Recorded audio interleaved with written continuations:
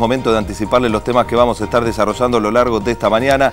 Y el primero tiene que ver con este caso de secuestro, tortura y abuso en Coronel Suárez porque el médico psiquiatra José Aspitarte, secretario de salud de Coronel Suárez, comentó que la víctima padece el síndrome de Estocolmo y que pese a las violaciones a las que fue sometida, aún siente afecto por los secuestradores. La víctima es Sonia Marisol Molina, quien estuvo tres meses secuestrada, según su propio testimonio, por el predicador Jesús Oliver y la periodista Estefanía Heiti. De esta manera, los especialistas vinculados con la investigación comienzan a arrojar análisis preliminares sobre este caso. Reiteramos entonces, según el secretario de Salud de Coronel Suárez, Marisol Molina, la víctima, habría padecido el síndrome de Estocolmo en el marco del secuestro que sufrió.